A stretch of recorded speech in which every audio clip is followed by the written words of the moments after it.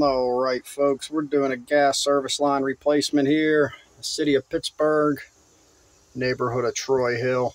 This is actually the neighborhood I grew up in, but uh, I don't live here anymore. We're a pretty rough area. But, uh, let's get the machine pulled off the trailer. We'll get you some shots here of us digging.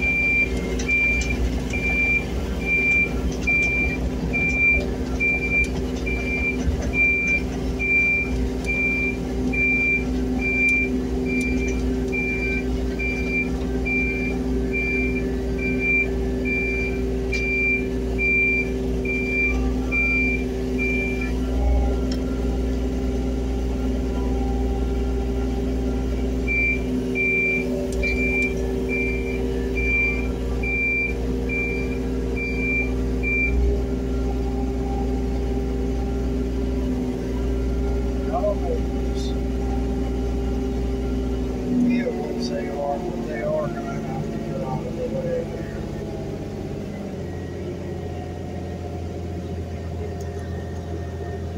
We got two cars in our way. As you can see, Malibu and a Taurus.